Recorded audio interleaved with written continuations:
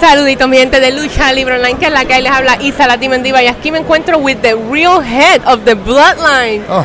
Rikishi, what's going on? I'm good. I don't know about being the real head of the bloodline, but You I'm good. you don't want me to say that? I'm good. I'm good. You said it. I didn't. Talk to me about your experience here at Starrcast, meeting the fans and hearing the feedback. well, it's been wonderful. You know, Starrcast put on a beautiful event here. As you can see, there's a lot of people here. But you know, my my most uh, uh, proudest moments here when I do things like this is to be able to meet and greet with the fans and you know listen to their stories, the impact that I've left on their life, maybe good or bad, or a lot of stories about the stink face. I, did, did you get asked to give one? Oh my goodness, all the time. I said, that's not for sale. Maybe you can start a business. oh, well, I don't know, you know. Shake what your mama gave you, I guess, right? I do it every day. Yeah. Let's talk about the island. We're just talking about being from the island.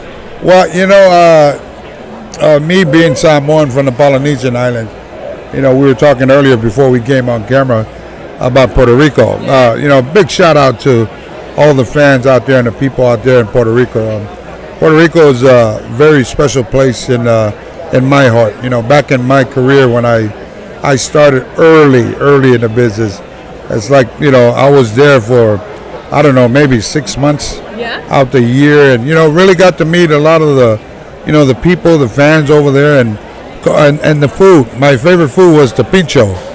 you know, pinchos. the pincho, and and then just uh, you know how the culture is together.